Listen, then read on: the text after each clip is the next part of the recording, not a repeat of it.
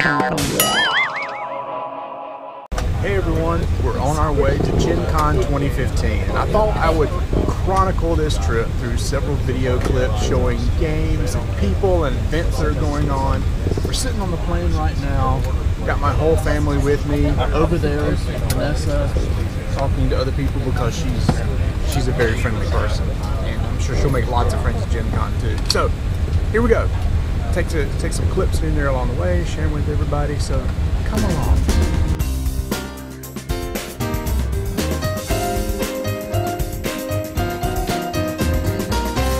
So we just arrived at the Indianapolis, and we this year did something different. We pre-ordered our badges through the mail. We did, and that's the way to do it. Uh, yeah, in the past it's like let's enjoy getting in the line with the people all back there and getting the badges, but the lines get really crazy now. So we said let's just go ahead and pay a little extra money and have the uh, badges sent to us. So that's what we did. However, you still have to wait in line to get the uh, coupon book. There's a coupon book every year at Gen Con. Really nice bag this year. It is. I, I feel like it's kind of sort of steampunk, even though maybe it's not. I, I just love the design on there. It It's goes like- through like game boarding history of where it's taken place. going from Geneva up to Indianapolis today. So that's really cool.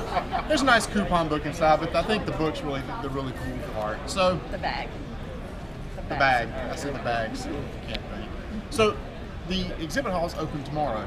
And so today everybody's just kind of getting their stuff. There's a lot of people going around the game and whatnot. There's a big event over at the zoo tonight that we're going to go uh, check out this I said tonight, actually this afternoon. So if you ever come to Gen Con, go ahead and pay for having your badge shipped. You want to avoid this line. It's the afternoon, and behind me are the main entrances to the large vendor hall. So this is where all the action happens. Filming this now to show you that this place is totally empty. But at 10 a.m. on Thursday morning, and probably every morning after that, this place will have tens of thousands of people waiting to rush into that hall to get exclusive games that are coming out from all the vendors.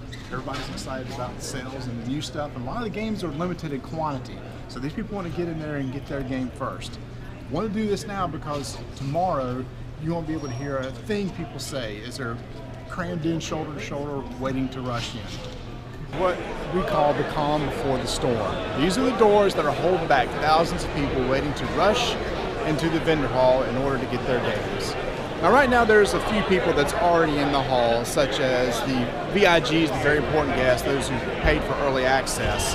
And right now, they're trying to scoop up some of the games that are in limited quantity. Because the thing is, is there are a lot of games that come out at Gen Con that are like so brand new, they're not going to be out to retail for like another few weeks but they try to get some in here to make sure that they can, you know, sell them and promote them as much as possible. So there's some games here limited in numbers. Like, for example, Blood Rage only has 100 copies. Uh, Wrath of Dragon from Countless Game Labs only has 120. So all those people, thousands of people, are going to be rushing to come in here and try to scoop up those games as fast as possible because probably after a couple hours they'll be all gone. So let's see what the madness looks like.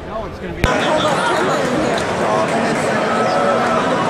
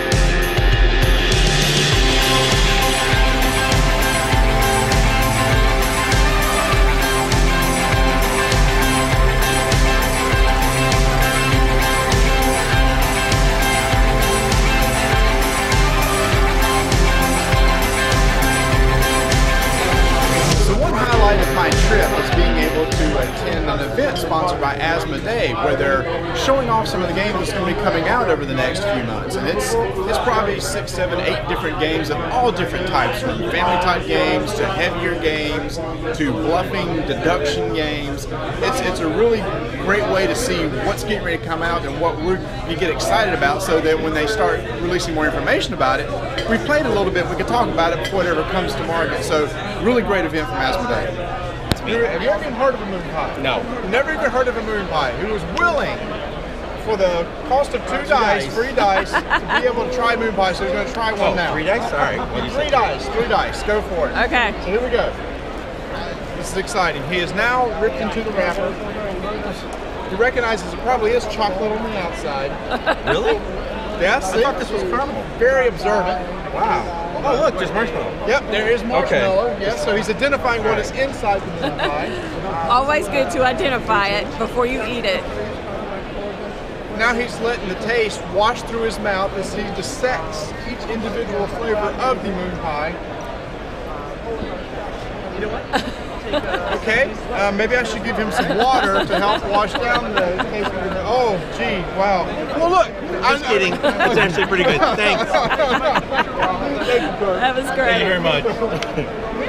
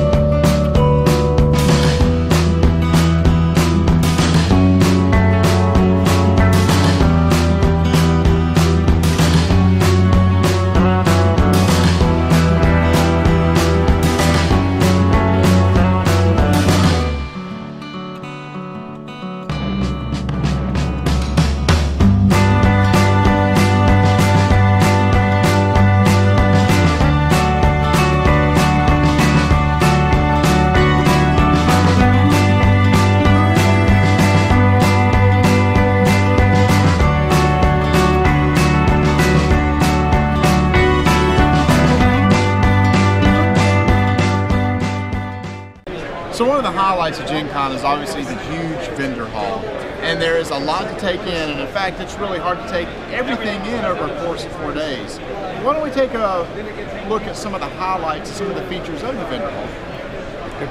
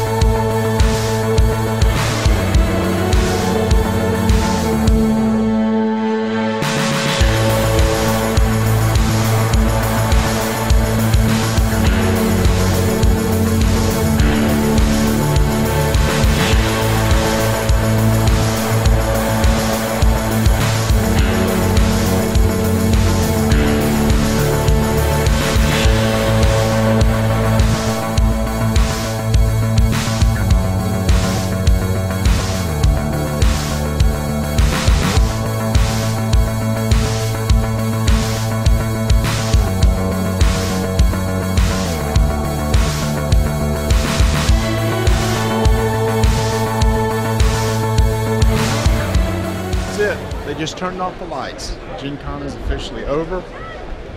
All the vendors have started taking down their booths. They're elated because it's a long four days. They're all extremely tired.